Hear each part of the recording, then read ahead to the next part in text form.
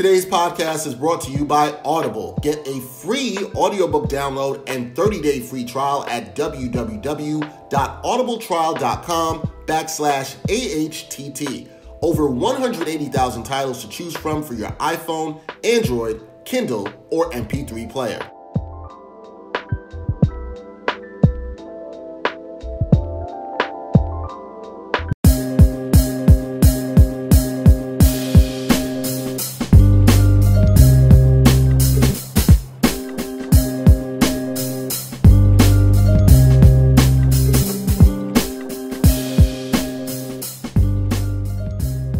To Tell podcast, episode 144. Dexter Henry, Bryan Fonseca here mm-hmm. for another episode. And we have a guest today. This is our second politician ever to join the show. Uh, it's a guy I've known for a little bit from my time working with News 12, uh, Jamaal Bailey, New York State Senator for District 36. Jamaal, what's up, man? What's going on, fellas? Happy to be here. Happy Sunday. Happy happy day. Happy week. Whenever this is being aired, I'm happy to be here, y'all. Thank you for having me on, man. Oh man, sure. no, we're, we're, glad to have it. Anytime we could get uh, somebody who you know is doing good work for the community, also a fellow New Yorker, as we mm-hmm. all are, um, it's always a beautiful thing to do it. So whenever we have journalists on here, Jamaal, we always ask them how they got into the sports journalism game. You being a politician, we got to ask you, as a native New Yorker, Bronx guy how did you get into politics? How did that all happen? Well, I mean, like, so I already always cared about my community, about how the way things work. But I was a senior at the University of Albany, and I applied for an assembly, an internship in the New York State Assembly. And the assembly member from my area is a gentleman by the name of Carl Heastie. Who he happened to be in his second term at uh, as the assembly member, and he always picked interns who were from his district. And mm. so I, I, I knew who Carl was. I, I, I didn't have a relationship with him at the time, but he always wanted to make sure he picked kids from his neighborhood because, you know, he felt that it would be a better experience for you to work with somebody that was in your community. And I tell you a story about uh, Carl Heastie, who is now the Speaker of the New York State Assembly, the first African American in the history of New York State to be the Speaker in, in, in, the history. So when you think nationally, Nancy Pelosi, for those of you who are not uh, involved in New York politics, Carl Heastie, so to speak, is the Nancy Pelosi of New York State. And he's the first black person, period, to do that. So, Carl, I walk into his office and I'm thinking, this is my first internship. You know, how do you do it? What do you do? Do you? I'm like, hey, Mr. Heastie, um, you know, you need some coffee? Uh, you need some copies made? He's like, sit down. it's about to get real. It, it got it got very real, right? He's like, three things. Mr. Heastie was my father. My name is Carl. Two, I'm an adult. I can get my own coffee, but I don't drink coffee. I drink tea. Three, learn this is not, this is not, and again, this is not, and I'm going to editorialize this. He, he didn't say this, but I'm going to say that making copies and getting coffee, there's nothing wrong with that. But what Carl told me was, he said, you're here to learn the legislative process. This is mm-hmm. what you're for. This is why you applied for this internship, and I want to do my best to cultivate that. So it, from there, it was it was on, so to speak. Um, I, I, got a chance to, to look at legislation, I mm-hmm. to draft the bill that eventually passed. And when that bill passed, um, now Speaker Heastie Carl, as he pre- prefers everybody call him, he gave me a copy of the pen certificate. Right, mm-hmm. a pen certificate is what happens when when, when a law is when a bill is, is memorialized and, it's, and it passes both houses of the legislature and it's signed by the governor. You get something to memorialize it. It's a copy of the actual law that's signed in. Now, it was bill number 89534 of the 2003 2004 legislative session, right? I still have that pen certificate because Carl gave me a copy of it to remind me what the legislative process was. So from then on, I, I just I stayed involved in government, had a couple of ranks um, uh, positions in party, state member, district leader, critically important positions in party politics. And then when my predecessor, Ruth Apple Thompson, when she left to take a job at the governor's office, Ruth had been doing phenomenal work in the space of criminal justice, which I uh, I've learned to like emulate a little bit. Um, I figured who else but me. I, I, grew up in this community. I, I am from and for here, and I feel and I felt and I still feel to this day that I can provide incredible representation for the community that I love. And um, by the grace of God, I've been able to be here um, two terms, and I and I'm running um, for my third coming up coming November. Yeah, mm. and, and we're wishing you luck because you've done a great work. I wanted one follow up on that because I'm glad you told that story about you know, having that opportunity with the internship to get in. But how important was it for you, Jamaal, to have somebody that looked like you? That was there from your community. We always talk about this on this podcast, whether it's sports or whatever. Visibility is important, right? And for you to see that, that had to be really empowering for you in that moment. Real life, like if you can't see it, you can't be it. It yeah. sounds cliche. Like I, I went to the Bronx High School of Science, right? And I did not have a black male teacher until junior year of high school. Damn. And I was GNT mm. program. I was in all of this. I was in all of these programs after school and whatever it was, but I did not have a black male teacher, classroom teacher, a gym teacher, but classroom teacher until junior year of high school. So like, mm.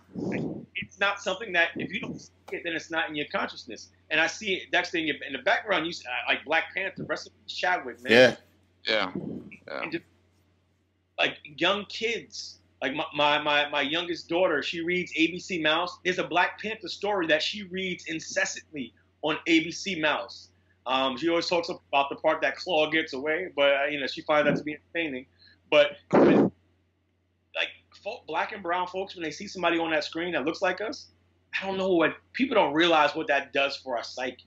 And to have somebody, uh, his second term at the time, he's under 40 years old, got a little swag to him. He's saying, "Young brother, you're from the neighborhood," and you know, in contrast to what politics generally is and was, a lot of times people they, they they're afraid of young leadership because like, yo, I, they're gonna take my job, they're gonna take my spot. Carl was always one who said, no, no, no, we got to bring the next generation along. We got to do that starting now. And so you're right, like seeing somebody in a position being able to, uh, that can affect change, but that looks like you, is, is nothing greater. Nah, no, no, un, undoubtedly. So, lot yeah, going on. Oh, go ahead, Bryan. Go ahead. Yeah. Sure. There's there's something that I wanted to wanted you to expand on that you mentioned there because I think yeah your pinned tweet is still about three years ago you being the youngest member of uh, the New York State Senate at the time. I don't is that still true? One. Uh, listen, I, am a I'm an old man. You know, um, Julia Salazar and and um, and Zellnor Myrie and and um, Jessica Ramos, Alessandra Biaggi, James Skoufis, they came in and they they they kind of put me into the Middle Ages. You know. Um, but at the time, like it, like that that pin tweet, it was about raise the age, and if you want, I, I guess I can talk about that. Yeah, because if you could expand on that process, because I mean, this is something that we've all had to fight at some point in our careers, right? When is the time where we're going to be able to break in and not just be the young person that's here? Like, when are we going to be allowed to sort of have that breakthrough? And for everybody, it's different. So, what's your journey in at one point, you know, being the youngest member and, you know, still having to grow throughout all that? Well, it's important that, and it's something I say to high school students when I speak, or, or middle school students, or elementary. There's no arbitrary age for leadership, right? We have ages for voting, but there's no age where, where you automatically automatically become a, leader, right? Like, oh, you're 40, that means you're good.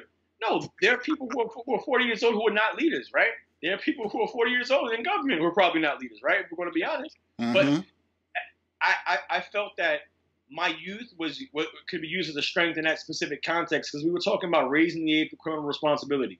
And at that time in New York State, in, in that time, New York State and North Carolina were the only two states in the entire country that treated juveniles as adults in the criminal legal system, right? And and, and it was something that I just I was like, wait, you've been to high school lunchroom? You ever you ever you ever spoken to a a juvenile to treat them as an adult? In, in, the vast majority of crimes. We're not talking about the most violent felonies. We're not talking about you know certain heinous crimes, but but other crimes like there has to be a different way that we look at younger folk because if we're really trying to rehabilitate those who are you know who are doing the wrong thing, right? Um, mm-hmm. we're, we're doing ourselves a disservice by throwing them away so early. People aren't disposable, so that like I think that's the that's the that's the crux of the matter. But being young, sometimes you have to um, you know, show them that that that you're here for a reason. The people, the people. I want a five-way primary, over 55% of the vote. I, I, I, I like mm. nobody, nobody gave me anything. I worked incredibly hard, um, and of course, people lift you up. You don't do anything by yourself. I want to be very clear about that. Right, I'm, right. I'm not a bootstrap theorist kind of guy. Let's uh, you know. Neither am I.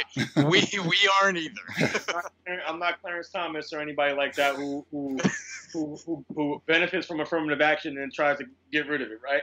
I, I, I benefit from from Speaker Heastie and so many other people in in in this space who who are mentors and, and role models to me. But at the end of the day, you have to put in work in order to be successful. And and I, I've worked really hard. Um, I still have a lot more to do and a lot uh, and a longer way to go.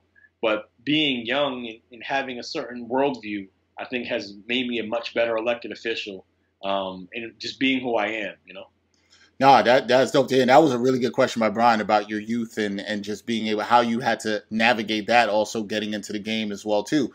But let's talk about some recent stuff, Jamaal. The last week, uh, you've seen you've seen this. A lot of black folks, people of color, said last week was pretty much exhausting. Um, and I will say it's exhausting being black in this country that has been racist. It's not. I love being black. There's nothing exhausting about being black, but living in a country where there's racism, that is exhausting.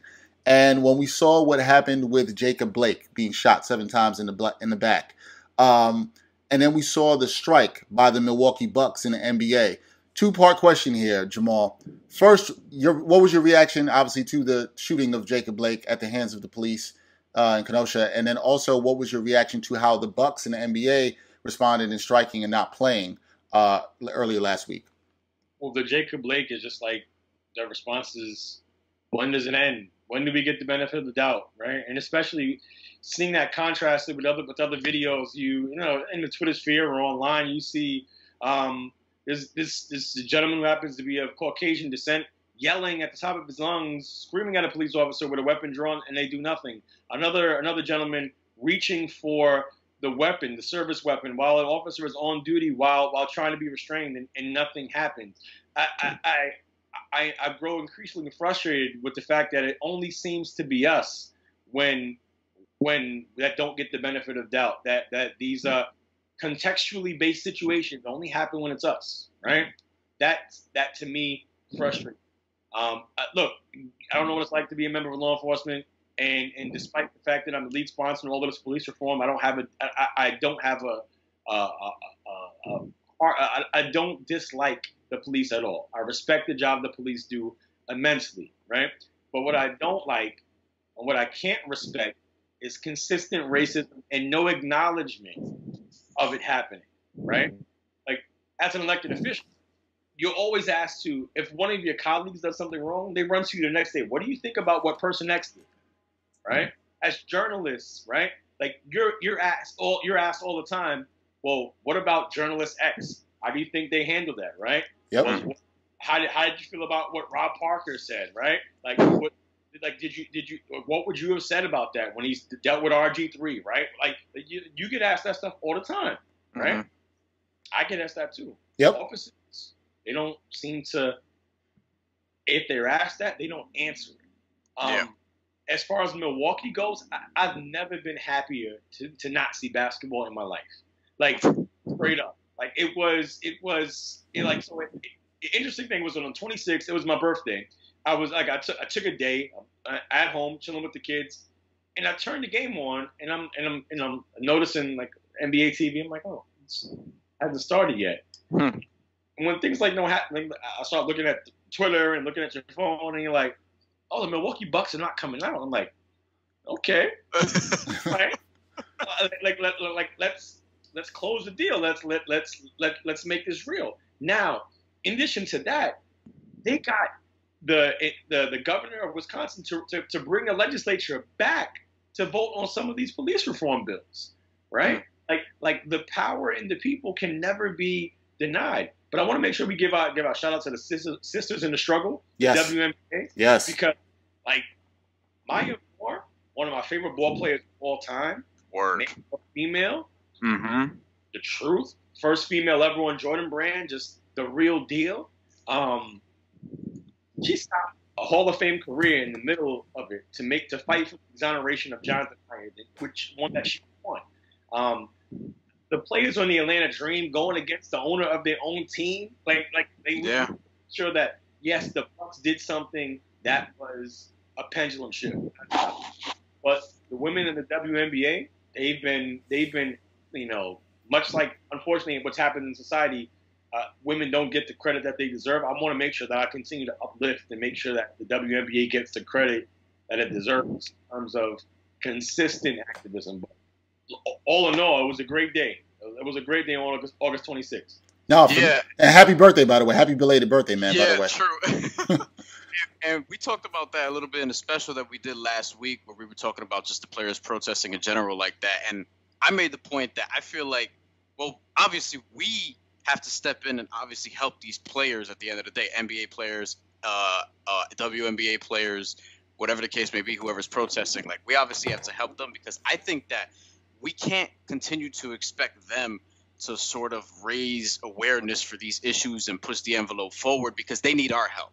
It's too much. Like I'm 26 years old, and a lot of the players are around my age. A lot of them are even younger, and they have to deal with, you know, taking care of family members, being trapped in a bubble, raising awareness for these social causes, donating money here, taking care of this person. It's too much. So, what what steps do you think we have to take as people in order to sort of bridge that gap and do our part and help out the athletes in order to really make this change? It's got to we, we got to be consistent, right? It's one of these things where you go to a school for a day, you tell the kids that they're great, you get a nice picture. If you don't go back to that school, what have you really done, mm. right? Like mm-hmm. like like you you plant a seed, right? Like essentially that's what that's what you do. You plant a seed. That's great. Now the, now the seed can grow if you do what? Give it sun, give it nourishment, and you give it water. If we're not consistent about nourishing like these thoughts and these ideas, they're not going to, you know, continue. Like as an elected official, I want people to vote in every election. Like yeah. the, the cliche of a, uh, you know, they wouldn't elect you dog catcher.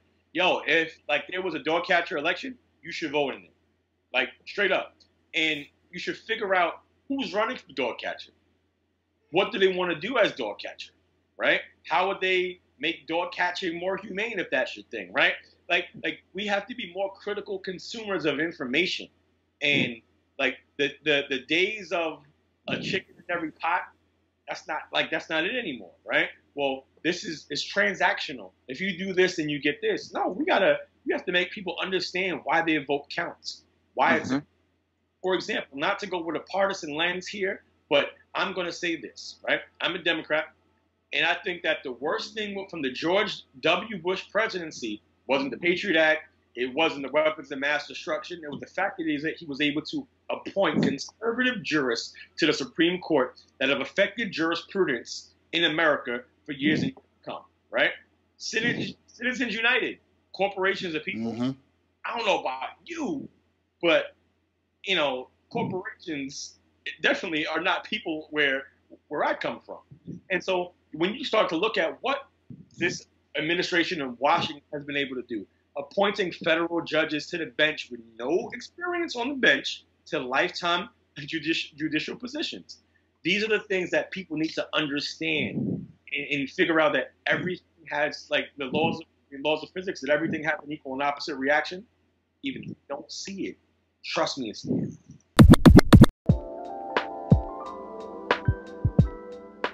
Today's podcast is brought to you by Audible. Get a free audiobook download and 30-day free trial at www.audibletrial.com backslash AHTT.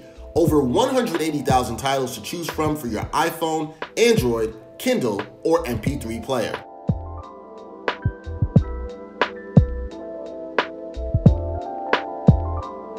After the Bucks strike, protest, whatever you want to call it, uh, there was talk. I saw a lot of stuff on Twitter. Some people are like, you like you and me. I had the same reaction as you. I'm like, look, I like what they're doing here. I don't know how long this is going to last, but I like it. There was some talk saying to people, well, what is this going to do? What kind of change and impact is this going to have? And we saw some things, right? We saw that these players got the owners to be a little bit more accountable and have the 29 teams have these uh, arenas open for polling come no, come November to be used as poll sites. I think personally that is no small feat. That's a major thing. You talked just earlier about the importance of voting and getting people out to vote and, and having people vote on things no matter how big or small it is. What do you like about what we saw come out of this strike protest uh, in the NBA. I think some people are poo pooing it, pushing it to the side, but I think it's no small potatoes. This is huge in getting these arenas open for people to come and vote. I think it's incredible. I think sometimes we are our own worst enemies. We we, we allow the perfect to be the enemy of the good, right? As opposed yep. as and I'm not saying settle, right? I would never tell anybody to settle. I don't tell my daughters to settle. I don't tell anybody like like you should shoot for the stars, right? But if you look at what was accomplished in some of the and uh, some of the other things that, about a continued ongoing investment in communities of color, in, in these impacted communities that they're going to get in, in addition to this, right? In addition to that, I don't think that's a, that's a small feat. And, and the reality is, I, I, I like to ask those who, like, okay, if not this, then what? Then what? Right. right. Exactly. Right. So, exactly. exactly what you wanted them to do. You wanted them to turn this down and get what? Well, and most of the time, 99 times out of 100, when somebody's doing that, they're not going to be able to tell you mm-hmm. what it is that they would have asked for. Too. They just know it's not enough. Well, mm-hmm. what is it then? Well, it's not enough. Well, that's not an answer. You know? you know what that's like? You know what that's like? That's like the people who, whenever LeBron James says something, they bring up China, not because they actually care about China, but they're just deflecting because they just want to bring up China in order to invalidate or feel like they're invalidating everything else he's saying, uh, regardless of what it is. Yeah, and it's it's it's just real disappointing when you see when you see people turn to that and and do that. So with that being said, I think a lot of other talk that we that comes out of this, um, Jamaal, and what we've seen over the last couple of years is okay. Police reform is needed. I know you're somebody that's really really pushing for that, and that we need to look at ways legislation can be passed to help certain issues of police brutality and police reform and anti-racism and all these things that we need what do you see in politics right now, especially at the local level, including, and you could bring up some of the stuff that you're working on and you're doing and you're fighting for. What are you seeing being done that you can let people know that, to go to Bryan's point, we can't just rely on the athletes. We need people like Jamaal Bailey. We need you. Yeah. So what what is it that you and, and uh, others are doing out there to fight and put, push some legislation forward? Well, we got to be able to walk and chew gum at the same time, right? Um, so one of the things is the police reform. Uh, you heard the conversation about the phrase 50A Yes. Right. Repeal mm-hmm. of 50A. That was my that was my bill. Uh, it was to repeal subsection 50A of the Civil Rights Law, and what that did is serve as an impenetrable bar to getting the disciplinary records of uh, of officers who were who were accused of, of wrongdoing. Right. I live in the Bronx, Northeast Bronx. Um, Ramarley Graham was shot and killed by by officers here in the North Bronx. Constance Malcolm, uh, an incredible an incredible woman, um, fought tooth and nail to try to get those records, but she didn't get those records if not for a leak, if not for some sort of happenstance. You're the victim of brutality. You shouldn't be able to. You shouldn't get that stuff based based upon happenstance. You should get it because it's the right thing to do, and it fosters public trust. It allows us in communities who've often been over policed to to know who is it that's policing us, right? In any other profession, if you have this this many disciplinary records, you know, strikes on your record, you you know you can you're dealt with and taken care of, and you and, you, and, and now that maybe you're disciplined, maybe your you maybe your behavior is corrected. But this isn't happening because we don't know doing it. They're continuing to be in the force, and that is continuously leading to a distrust from people in the community and members of law enforcement. Like you go into these schools, you talk to the kids. I mentioned it before. Like nine times out of ten, you ask the kid what they want to do. They in that top three is doctor, lawyer, basketball player, cop. Right?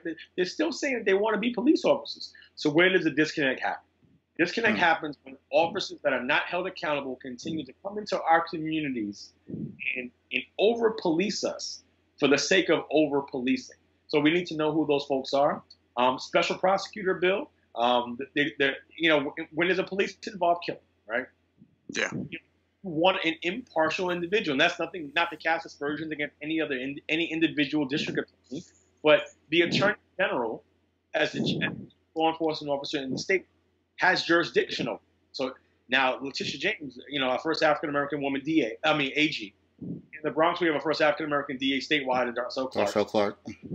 Like, so it's important that we continue to break these barriers as, as they go as we go up. But the point is with, with, with that is that they have the ability to to investigate these killings. Um, the anti uh, chokehold bill, the Eric Garner bill, which is different from the New York City one, Um, that passed in the state unanimously, and that passed 62 nothing in the New York State Senate, a House that is often divided based upon partisanship. Every Republican and every Democrat in New York State Senate voted for Senator Brian Benjamin's bill to uh, to to to, uh, to to ban chokehold at the state level and to put a and to put a uh, penalty on. It was it's it's a realization that look, whatever side of the aisle you sit on, right? you have to make a rec- is a recognition that we've got to do more when it comes to making sure that we reform our police departments and, and restoring public trust and accountability to the equation. Yeah. Do you think that over the course of this year that we've actually legitimately have gotten closer to some sort of reform in these areas that we're discussing? Do you think that we've actually made legitimate progress over the last, you know, six months or however long it's been? Absolutely. I, I, I think that so in in the first, in the second week of June, we passed these bills, and the governor signed them into law. Um, so we passed a package of 10 of 10 bills. I was a sponsor on four of these bills, um, uh, including 50A and special prosecutor, a weapons discharge bill, and a bill that was dedicated to the life of Andrew Kearse, a, a Bronx man who was refused medical attention while in custody. Which, which in, in which, and again, these are things that you would think would like, why wouldn't this be permitted? Why would this be permitted? It would create a right of civil action so that in the event that an officer failed to um, try to get, you know, somebody who's in their custody. So, Bryan, in, in, in some in substance, we've been able to do that. But yeah. we've been able to do that as much as I think I'm a pretty good elected official. It's not just because of me. Right. It, it is because the people they saw that knee on the neck of George Floyd for eight minutes and 46 seconds, the collective knee of black America. And they said, yo, we are tired. We've been telling you about this for so many years. Mm-hmm. But by the grace of God and by the grace of video evidence, we have undisputable evidence because in the past, you know, some people, it was like a throw context out there, right? Mm-hmm. Well, Eric Garner, well, look, hey, he was choking him out, but maybe he was resisting or maybe he was selling cigarettes, or whatever cockamamie excuse they gave. That's why they they, they, they could have they, they murdered that man in Staten Island, right? Right. This one, we saw evidence from the store. We saw evidence when George Floyd was on was on the ground when they brought him to the. At no point was he resisting. He was asking for help. There were bystanders recording it from multiple angles. We had the perfect storm of indisputable evidence that said you can't y'all can't look past this one now. Now do right. right. And as legislators, we are charged to do what the people's will is, we, whether we like it or not. I happen to be very passionate about this, so I'm happy that we did it. But as legislators, our number one job is to serve the constituencies that we represent, whether we feel good about it or not. And our collective constituencies said, enough is enough. Do it. Do it. Now. Yeah. Yeah, and that's something that we've talked about up here. We just feel like if it, like yes, people have been fighting for this for a long time, but this year more than any other year that at least I've experienced, it just feels a lot different than in years past. So. Yeah, I, I, I, definitely feel it, Jamaal. I feel the energy behind it, and it, we need it from people like you. Just to flip a little bit back to sports, real quick, for a second. Um, athlete activism. We've seen this for a couple of years, and you know Bryan's kind of alluding to that and we're seeing it extremely louder now with what we saw, what the Bucks did, and as you said uh, so perfectly, the women uh, in this country, the women of the WNBA, um, and and people in the other leagues as they have done. Are you encouraged by the athlete activism that you've seen over the last couple of years, and especially recently uh, this year, following the death of George Floyd and others, unfortunately? But are you encouraged by that athlete activism that we've seen in this country? Absolutely, because it it it it makes Laura Ingraham's shut up and dribble nonsense look even dumber, right? It, like mm-hmm.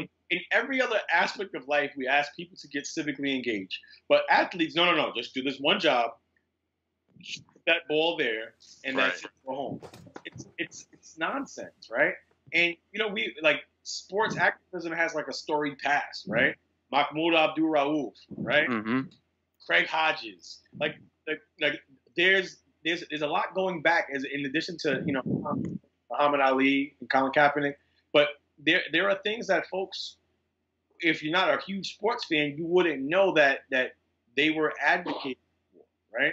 And I think that now I think that it's just, it's not just one off now. I think that the collective is being represented, and you know and I think that it's a I think it's great going forward. You know, I, I really I'm really encouraged by these these these young folks, these young workers. And, I, and Dexter, when you said strike, I think strike is perfect because they're labor. These yes. are members of collectively bargained labor organizations. Just because they're young and predominantly black does not make them any less part of organized labor than anybody else. Let's just yep. let's be let's let's talk about that because you can't talk about loving unions and what unions do, but it's only certain people in certain unions that mm-hmm. you love. Let's let's let's look at collective bargaining and what it is and what it's not. And what it is, these are workers. Right. And they they withheld labor when they decided to not play. Um, and I think a lot of people are telling on themselves, Jamaal, when they, like you said, they're pro union, but when certain people strike, they don't like it. And I, I was actually really disappointed in a lot of media members because you I know you saw this too, and I know Bryan saw this as well. A lot of people were calling this a boycott. This is not a boycott. Yeah. This this was a strike. It's a strike when you withhold labor, and I think th- that needs to be uh, distinctly uh, brought about. And a friend of ours, Gerard Hector, had brought this up when we had a discussion too. And I thought it was great. Now you say that you are extremely encouraged um, in terms of athlete activism, but also I'm sure you've got to be encouraged politically in terms of where things are going too. What more can we see, Jamaal? What can we see in terms of legislation? Like, what's the work you feel like still needs to be done here to get us to where we want to go? Well, we need a lot more around economic development. All right, obviously because you know we're in the midst of, midst of the worst pandemic, and, and let's and let's not forget that. Right, we need economic development because the revenue is it's it's in our state it's really low, right? We don't know what the federal government's going to do, and they haven't exactly been kind to New York City or New York State, even though we give more money to the federal government than we get, but that's a conversation for a different day. Mm-hmm. Um, we should we should be looking at other ways to be creative about about revenue, right? And if that means trying to make those at the very very top, the well, the 0.01 percent, make them pay a little bit more taxes, and that's something that we have to do. Um, we also should be looking at healthcare and the lack of healthcare and the, and, and the inequities in healthcare that happened. Um, when COVID 19 hit, my colleagues and I wrote letters to multiple administrations, uh, state, local, federal, and we said, please be aware that in black and brown communities, this is going to hit harder because we are already we, we are already a step behind based upon certain societal inequities, based upon lack of coverage, um, economic uh, uh, disparities and it hit. Uh, you know, they, they say they said, hey, stay home. Well, what about people who um, work for 1199 and 32 BJ and these other unions and these essential workers, nice, and then these nurses, and they and they quite literally could not stay home. What about spoiler alert? Most of them folks are black and brown, black and brown women who were utilizing public transportation. Who they said avoid public transportation. Well, how am I supposed to get to work? Right. Yeah. Yeah. And so, so we have we have to really come to grips with our healthcare system and try to figure out how do we get there, right? And do I know all the answers? Absolutely not. Am I trying to figure out figure those things out? I think we should take a take a take a long look at what single payer could do at a state level. Uh, I know there's a significant fiscal cost to it, but there we should be looking at ways that we can kind of level the playing field on economic opportunity in healthcare opportunity.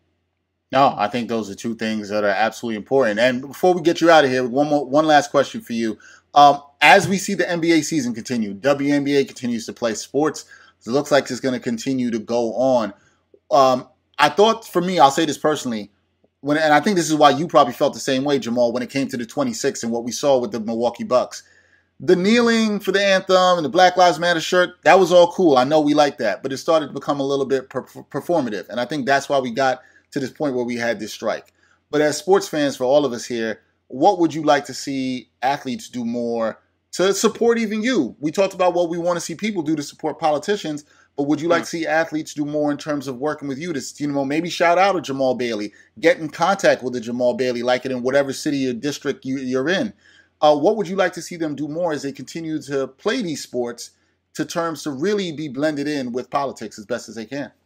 that would be awesome, right? Especially at a state and local level, because look, we we know about what's happening in, in Washington. We all see the local news, but the folks who have, like, if you live in New York City the people who have the the the the, the most control over land use decisions are members of the New York City Council. I and people should know who their city council members are, right? If you're mm-hmm. looking at things that are related to state issues, you should know who your state assembly member and who your state senators are, right? We tend to look at Congress and we tend to look at um, uh, DC stuff, Congress, Senate, and, and the presidency as the only game in town. And sometimes, and I can't blame them, you only have but so much time as an individual, as an athlete, as a person. So, like maybe you're tweeting about or, or you're coming to an event that relates to taking back the U.S. Senate, right? Or taking back the White House. But I would love it if not just me, but if they went to, you know, local elected officials and they said, "Yo, how can I help? How can I come help you get, you know, get the census?" Like for example, the census, guys, yeah. like we are undercounted at record levels. We have until September 30th, a full month less than what we're supposed to have to get counted. We're at 57 percent. New York State is on is on is on is on the path to lose two congressional seats. So when you lose congressional representation, that makes these congressional districts larger. If it makes the congressional district larger, if you don't think that you have the ear of your Congress member now, wait till they have to represent more people. And it's not because they don't want to represent you. It's because there are finite amounts of resources and availability that they have to be able to do people should be able to be represented by people who know them and can reach out and touch them and their staff members. Shout out to staff, by the way. Always got to make sure you represent. That's right. Because yeah. as officials, you are only as good as your staff. So I want to make sure we're very clear about that. Shout out to my staff at home, the Bailey Bunch. You know. Um, but but like it would be amazing if these elected officials, excuse me, if if elected officials helped out everywhere, but if athletes came went went to their local um, areas where they were from like Taj Gibson, for example. Shout yes. out Taj Gibson because you know, like, and he's he's talking about it from both sides. And I and, and look, we got police reform problems, but we got gun violence problems too. Gun violence is a public health crisis, and it's an epidemic. Taj is back in Brooklyn trying to help out with that. So he's somebody that that's not just shooting a breeze about it, but he's going to be about it, right? Like like I think that that should be replicated in every city, town, ward. Like for example, Flint, Michigan, has always been like they used to call it the ball place from the Flintstones, right? Like, mm-hmm. like we need them. We need them in Flint, right? right? We need them talking about that. Kinston, North Carolina. Um, or like we, we need we need Brandon Ingram to go back to North Carolina. Um, we like, and it's not saying that these folks aren't doing it because because maybe they're doing stuff on a level that maybe we're just not not aware about. But yeah. I like to see them. You know, what can we do? and how can we be of help to our state and local elected officials? Yeah, I think we all can't ignore that. We can't ignore our state, local elected officials. I'm so glad you brought that up. So glad to have you on here, Jamaal. We were glad to talk to you. We'd love to have you to come back. I'm sure there's going to be more stuff to come back. We're going to talk about how sports intersect with politics because you know some people are trying to tell us they don't intersect, but we know sure. that we we know that isn't true, brother. We know that's not true. Absolutely, uh, fellas. Thank you for having me. This was this was great. I I, I I, as an elected official, you try not to make promises, but I can make one promise today. I want to. I definitely want to come back on, man. Oh, we sure. we appreciate that. We'll be more than it'll be more than our pleasure to have you. That's Jamaal Bailey, New York State Senator for District 36, representing the Bronx. Um, thank you. Keep putting the X up for Wakanda and for the Bronx. So they're, they're at the same time too. So I like it, Jamaal. Thank you, my brother. Appreciate it. Appreciate you guys. Thank you. One time for your mind, one time. One time for your mind, one time. One time for your mind this week, we are back at it. I know Bryan has something that he wants to talk about in terms of the world of hip hop that also kind of correlates a bit with podcasts. And then I'll have something to share as well too. Bryan, what you got? So for this one time for your mind, uh, Joe Budden is leaving Spotify, which he has said on his pod and his podcast. He's taking his podcast. He's leaving. Rory, Mal, Parks, they're all going. You know, uh, Savant, everybody. So basically, there's this whole thing about like what's gonna happen now and why he's leaving, and obviously people are gonna talk about it as I'm about to do right now. Charlamagne was one of the first people to obviously respond. Him and Joe Budden have this sort of, I guess, complicated public relationship, if you want to call it that. But they're friends, but they also go at each other because they just don't really see eye to eye on certain things. And here's why. Um, you know, when they were talking about it on the Breakfast Club, it was brief. DJ Envy, who was one of the other people on the Breakfast Club, but commented on Joe Budden saying that he was going to leave Spotify on an episode of his podcast that came out last week. He basically said it's like, and talking about Joe Budden, DJ Envy said it's like, you know, when you're saying you're leaving, when you're saying you're going to walk out the door, but you really don't have anywhere to go. And you know, Charlamagne basically called Joe Budden a man that knows his worth but doesn't know how to properly negotiate it. With uh, doesn't know how to properly negotiate it. And he also said that amidst all of this, if you're having issues here at Complex and here, whatever the case may be, that you're probably the problem, which is how a lot of people, I guess, would feel. And I was actually surprised at this that Charlamagne doesn't quite get it from the standpoint of what Joe Budden's talking about. And here's the difference: there are different kinds of people, people who are the Stephen A. Smiths and the Charlamagnes of the world who really get in those positions of power in the in the company that they're in, but do they have power really? Because at the end of the day, you work for ESPN, you work for iHeart, like you're getting a check from somewhere. You don't really own anything, and that's what Joe Budden's entire fight is for, is for ownership. A lot of people are questioning whether or not he should be actually you know, leaving because he's under contract with Spotify and they're taking care of him and, you know, whatever the case may be. And I think that we do too much generally of questioning the people who are trying to question the system instead of questioning the systems themselves. We're conditioned to think a certain way. We're conditioned to think that we need these companies in order to push our stuff to the next level and pay us. And when you get to a certain point, that's not true anymore. Like Joe Budden, I don't think needs Spotify. And the thing is, if you really boil it down, it makes a lot of sense why he would leave because he talked about this on his podcast. Amy Schumer came in around the same time. I think they started a little bit earlier. Amy Schumer, if you remember, because I remember this because I was sitting on the train and I saw the billboards or whatever you want to call that on the train. It's not necessarily a billboard, but you know what I mean. Uh, they were advertising Amy Schumer's podcast a lot. Spotify put money into that. I don't remember the name. I don't even remember the name of the podcast. I, I, I looked it up. Apparently, it's still going on. It's seasonal. I didn't know that either. They underperformed that was supposed to be like the first exclusive sort of deal. And to Joe what, I'm point, cutting you off here. What do you mean that they underperformed by that? Uh, Amy, Amy Schumer's podcast. How so? How so? How did it underperform? Do because we know? It, it wasn't I, numerically. I don't know, but it wasn't. Okay. It was supposed to be like one of the main podcasts that was there, and then Joe Budden was supposed to tap into a different audience. And according to him on their podcast, they outperformed their projections by 900 percent. Amy Schumer Not So Once. They were the number one podcast on Spotify at the end of their first year. I believe probably at the end of their second year too, uh, or they're in their second year now. But you get you get it. They're one of the biggest podcasts in the world. And what he's basically saying was that, and that's a licensing deal that he has. And what I've seen at that point, Spotify wasn't really tapping into podcasts like that. They were just trying this out with Amy Schumer, with Joe Budden, whatever. Now they have all these exclusive deals, Gimlet, the Ringer network of podcasts, where they have the Wire Way Down in the Hole, R2C2, Bill Simmons, and all of his conglomerates, Ryen Russillo, et cetera, et cetera. Um, and Spotify now has a lot more exclusive podcasts, and I feel like Joe Budden is kind of the one that in effectively started that trend or made it successful there on Spotify.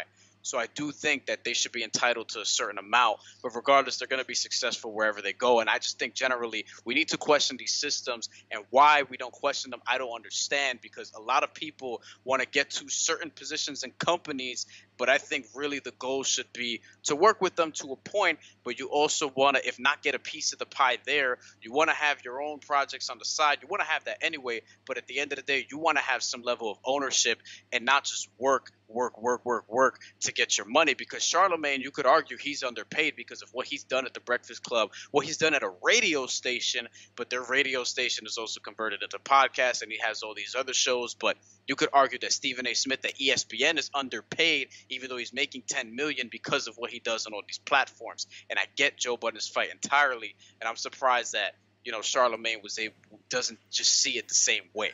So here's my thing on this. I don't necessarily. I obviously I agree with the you know going for ownership and and creating your own all that stuff. I'm a big supporter of that.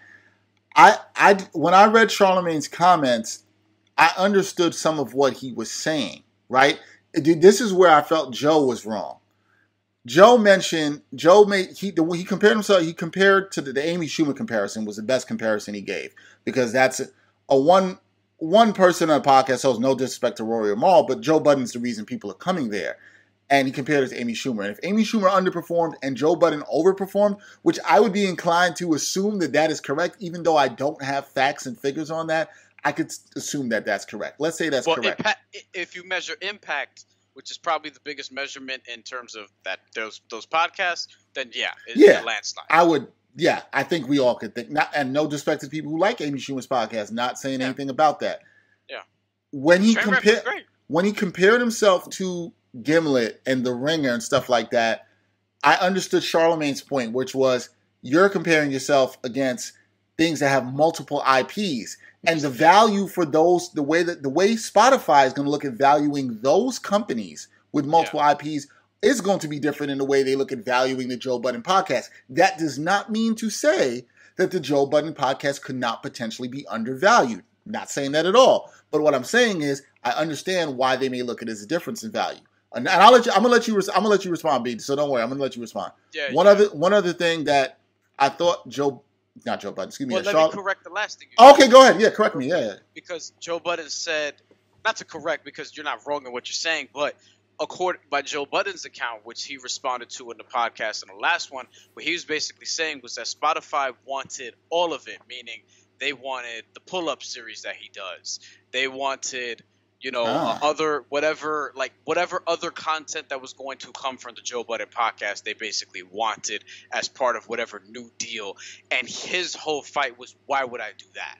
That was his response. Like, yeah. why would I Okay. put- Okay. he wants to go to he he believes that Joe Budden is a network, and you know it is. Joe Budden has become its own sort of network because there are multiple things going on at the same time to pull up the podcast, whatever the case may be. Well, let me let me let me let me. Let me let me ask you this though. Yeah. Did in him saying that because I didn't hear him say and, and the last part, he wants to. He was saying that Spotify it doesn't make sense for him to house all of his things in one in that place. I could I could yeah. but yeah. I I, I can under, sounds like he would want to house all of his all of his things in one place. And by the way, all this aside, he does Mhm. still have the revolt job. He's still Right, right, right, right. Right, right, right. And so that I'm glad you brought that up because that does give some perspective here. Because if if he's saying that uh, Spotify wanted him to bring his other entities like Pull Up and things he have in, has in there, what I would say if I was him, and I guess this is kind of the point he was making, then if he's saying to me, then I want to then be valued as the ringer and these other places like that, I saying. understand that argument completely, and then that's a different argument. And I and I Yeah. would so I, I appreciate you bringing that up, and and you know you're right, you corrected me on that because I did not have that information. So I Yeah. agree with that. The one thing I will say about and because I don't think I'm against what Joe Budden ever was saying. Um, if he was comparing himself to the the entities that had multiple IPs, I was saying I didn't think it was balanced. But if he's saying what he said, which is they're asking me to bring these other entities in, then he's right. Then he is a network just like these other places. And if he's he can has and he's got the numbers better than us, and he knows what his influence and reach has been and what is done from day one, then that's fine. One thing I will bring up, and I'm really intrigued to hear how you respond to it. Charlamagne bringing up about his attitude and how he acts with other companies. I also think there's some validity to that for Joe. And as much as I like Joe Budden, and I think what he's fighting for in this and standing up for is admirable, I do think maybe sometimes how he goes about it in a way is different. What he said on his podcast to what Bryan has brought up, I don't have a problem with it. You should speak your truth. We are about that on this podcast. Yeah. Him putting out the tweet where it's like, yo, fuck you, Spotify, eh, that's a bit much. He's Yeah. and he's got to be mindful of those relationships and how that builds with him going to the next place or other places. So you don't want that that idea out there that you're difficult to work with. And we know we get labeled as that as people of color. I'm not saying don't speak your truth. I'm not about to not being silenced and shucking and jiving for these folks. I ain't about that. Anybody who knows us knows we're not about that. But Yeah. you know, there are certain ways that whether it's myself or Bryan or anybody else, you know, if we're trying to do something to get a deal with somebody and we're or we're moving on for a deal with somebody, yo, move on with grace. You ain't got to be all about the fuck you Spotify. And Joe Budden, I think, knows that he was wrong for that because he then deleted the tweet. For me to be fair, so I think he knows like there's a better way to handle that. I think Charlamagne's point in that is fair. I can't speak to Joe Budden's other deals. I don't know, but I think how he's approaching things going forward, knowing your worth, we're with you, brother. Yeah. Handling yourself while knowing your worth is something that also needs to be respected too. That's yeah, it. and, yeah, and that's something. I see that tweet I've forgotten about until you brought it up. And that he deleted. So that's funny that you bring that up. But yeah, I mean, you know, he can burn a bridge or two or three. You know what I mean? It's happened before.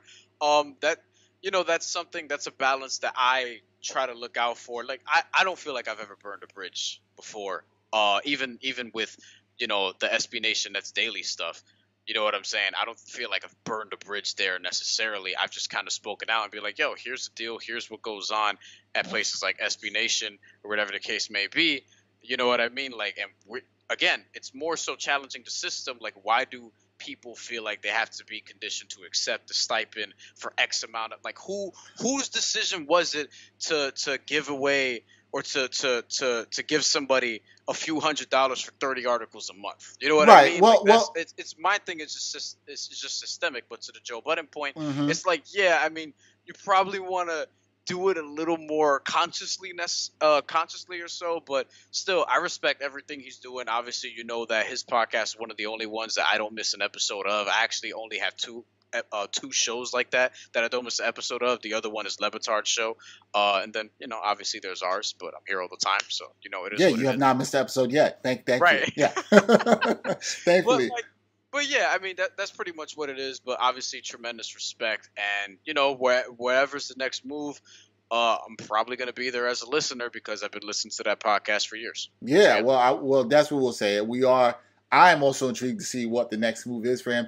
I am And I've written, and I've written about him uh, three years ago in that story that he reposted too about how he's become the most impor- most important Voice. personality in hip hop. Per- personality. You said right. Yeah, And Three years later, I mean, it still it still holds to be, it still holds to be true. And look, I agree with you um, completely that Joe Budden does not need Spotify.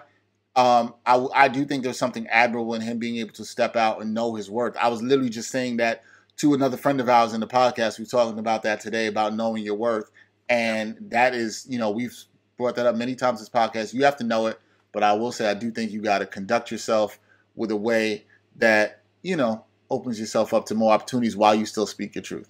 ultimately he'll be fine. He'll be fine. Yeah.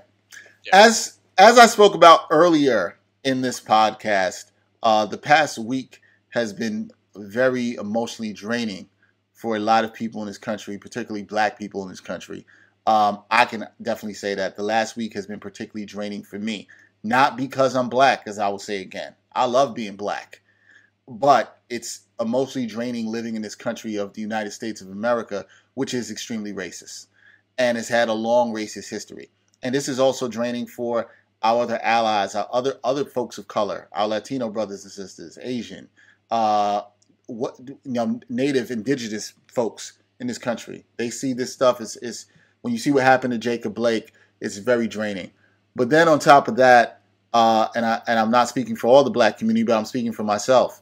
Uh, to learn earlier this weekend the the death of Chadwick Boseman, man, that really hit that really hit, and I know it hit for a lot of uh, black folks because you think of the important, iconic roles that he's played as a black man and what he accomplished in such a short period of time at the age of 43. Uh, for people watching this podcast, you see I'm wearing a Black Panther shirt. You can see I got Black Panther, Chadwick Boseman, uh, iconic role that he played. Probably one of his best known roles right behind me. Um, we spoke on this podcast after I saw Black Panther and how important it was for me to see that, how important I knew it was for young black kids to see that. I grew up never seeing a black superhero. Bryan has still sadly never seen a Latino superhero featured prominent featured and we're hoping that day comes for our Latino brothers and sisters and I'll be right there watching when that comes. But it's because of people like Chadwick Boseman and what we see and how they play in those roles, it's important. And when that person comes for the Latino community and for the Asian community and others, people are going to have that same level of pride that I'm talking about right now. That's why these things mean so much. Him playing Jackie Robinson, one of my idols in sports, somebody I've always looked to as a role model because of what he stood for uh, in sports. James Brown, great iconic musician. These are the roles Chadwick Boseman played. And when you think about him doing that stuff at such a high level, uh, this in his, his career and what he meant, man, it's a lot. And I think for black folks and myself to, to lose one of our heroes, we lost the Black Panther, as people have called him. We lost the Black Mamba earlier this year. This stuff really touches, especially when we see our brothers and sisters and people of color being killed in the street at the hands of police or not being killed and paralyzed like Jacob Blake. It hurts. And, you know, we heard Jamaal Bailey earlier in this episode talk about when is enough going to be enough? That is the question that people are asking. That is what people want to know. That's why we have to use our voices. That's why Bryan has to speak his truth. I have to speak my truth. You, the listener out there, and viewers have to speak your truth because there are people like you can leave a mark. You don't have to be Chadwick Boseman in a movie, but we all have a part to play. And we all can touch people's lives the way Chadwick Boseman touched mine, Kobe Bryant may have touched mine, or whoever your heroes out there may have touched yours. It's that representation that matters. That seeing somebody that looks like you can do something, even if it's not in the field that you do. And that stuff matters. So I just want to give a salute to, in what's been a difficult time for people, to Chadwick Boseman for what he did and the impact he left, particularly on the black community, and will continue to leave, li- uh, excuse me, leave in his presence for years to come. Um, I know I will feel it. I know my daughter has a Black Panther toy, and she hasn't even watched a Black Panther movie, but I'll watch it with her and share with her about Chadwick Boseman and what, and what he meant uh, to the community and what he's done. So, salute to Chadwick Boseman, uh, everything that he did in his career. Uh, Black Panther is had a great legacy, and uh, Wakanda forever. That's how I'm ending this podcast. That's it for episode 144 of the Ain't Hard to Tell podcast. Speak your truth. Be strong. Until next time, y'all. Peace.